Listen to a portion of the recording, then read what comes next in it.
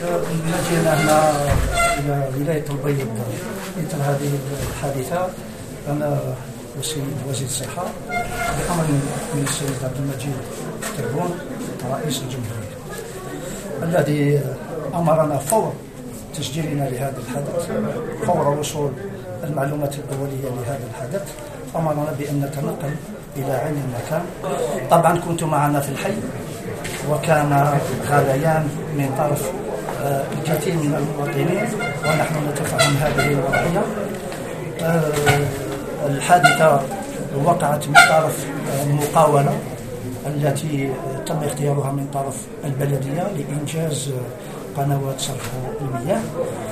آه، أنا ما أقدرش نعطي تفاصيل أكثر ولكن مؤكد أنه